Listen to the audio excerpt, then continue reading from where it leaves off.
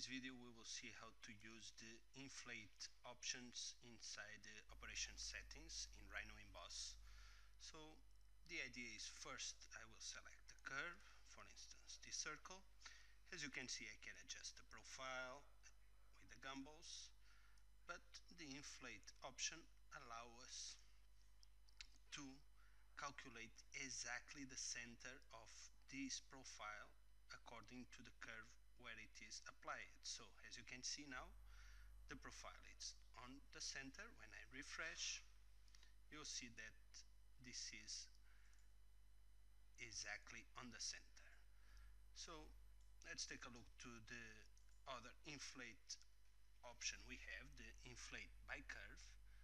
The inflate by curve is exactly the same operation but in cases where we have multiple curves. So if in this operation instead of one curve I have all these curves, the inflate by curve allow us to calculate exactly a center for each one. As you can see all are different circles and with different radius and the inflate will calculate for each curve the center. So now when I refresh